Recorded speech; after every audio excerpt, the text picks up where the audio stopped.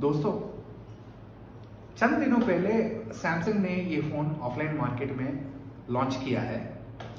ये है सैमसंग का नया F62 इसकी कीमत है तेईस हज़ार नौ सौ निन्यानवे रुपए। और इसकी खास बात यह है कि इसमें सात हज़ार एम का बैटरी है और पीछे का जो कैमरा सेटअप है, वो चार कैमरे का है।